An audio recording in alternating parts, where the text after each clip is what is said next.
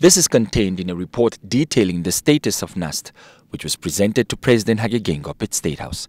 Namibia currently does not have regional science and technovation parks, which are usually designed to aid growth of businesses and tech-savvy communities. NUST, in its report titled Beyond the Pandemic, outlines that these parks, once established, would accelerate national priorities such as green hydrogen production. Vice Chancellor Erold ||Naomab says science and technovation parks would ultimately create preconditions necessary for sustainable tech ecosystem. What we are presenting here is a blended uh, model of um, establishing regional science and technology parks together with our satellite campuses. So what you would see, Your Excellency, for example, in Rietfontein and, and the Ohangwena region, we are going to have what is called a precision agriculture science and technology park. This will be a park that will scale the production system, will illustrate to farmers in terms of how production can be led through science and technology. The establishment of parks are just one of the ways that NUST is positioning itself to be a research-led and intensive institution. The number of industry partnerships during this short period of time, irrespective of COVID, has increased from three to eight. The value of investment, Your Excellency, uh, is at this point 54 million from the private sector into the university. That's almost $20 million every year being invested into the university.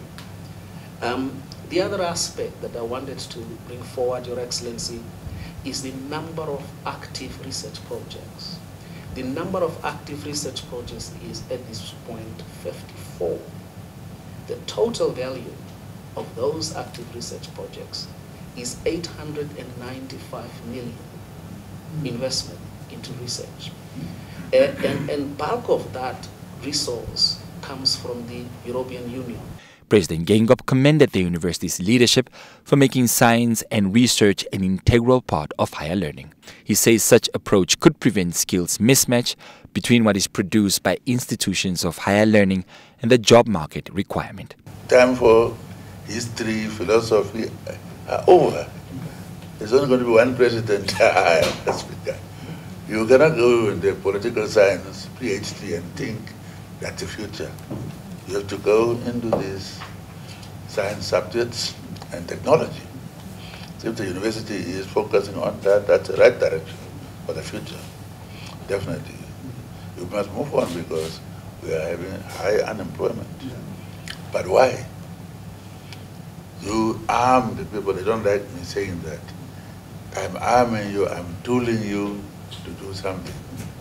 Now after I've given the schools, we are saying, hire me now have the skills behind because we have wrong subjects. Yeah. So if we can have the science, people can create their own jobs, empower them to create their own jobs, then we're talking about answering unemployment question. NUST also recently partnered with MTC and unveiled a multi-million dollar high-tech transfer plaza select to foster an immersive engagement and increase appetite for the fourth industrial revolution.